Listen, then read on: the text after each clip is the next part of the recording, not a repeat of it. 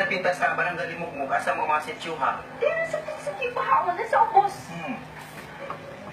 Hoy, alam mo ba, gamay pa ni siya din eh. Unang di gini siya malimot din siya. Yutang na tawan. Kaya gamay pa siya din eh. Dito mo sa abroad. Tubagaw taro ng mga libakira. Basta mga hugang utok. Taga diri ko sa barangay ni Mumog. Diri ba ko nagtao? Diri ko nagdako. Anak kita ko ni Dampin. Mo?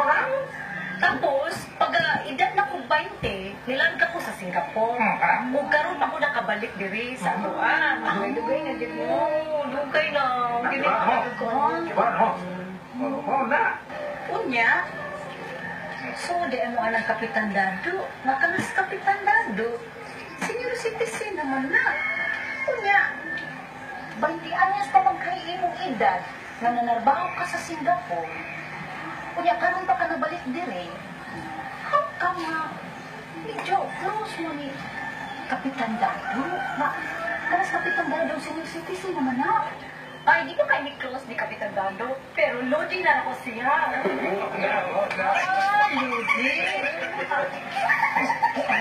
Boss, Ah. may katawan ka. Na, Saan pasabot ang loading? Ah, kanalo din. Oo, loading. Ano na? Nag-vicious na siya ni Kapitan Dago. Kuya inyo. Chismusang utok o hugaw eh. Kanang lodi, idol. Hmm. Ah. Oo na. Ako na siya na idol. Siya na idol? Idol good. Hmm. Paborito. Ah!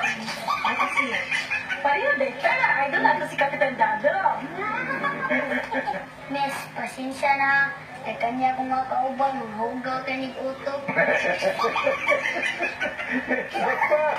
Ayaw dyan kumpiyansa na. Kay kala, mahilig, mahilig kayo ng Jesus.